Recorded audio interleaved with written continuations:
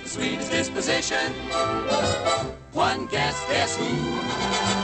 Who never, never starts an argument. Hmm? Who never shows a bit of temperament. Who's never wrong but always right. Who never dream of starting a fight.